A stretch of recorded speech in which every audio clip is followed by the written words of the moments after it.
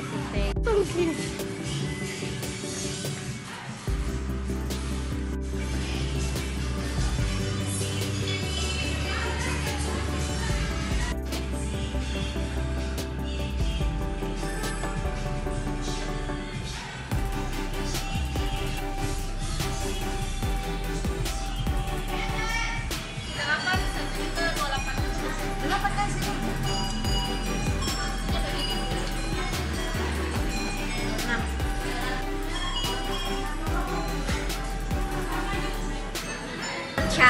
ini paling laku di Olimpik.